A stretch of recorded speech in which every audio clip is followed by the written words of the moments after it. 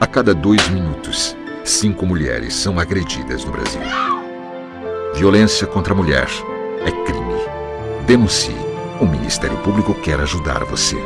Ligue 180. A Fundação Luzia Tejada apoia essa causa.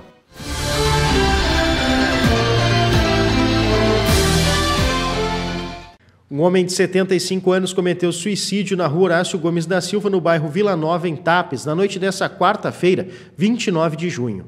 Segundo informações, o homem foi encontrado morto junto à porta do banheiro da residência por um vizinho.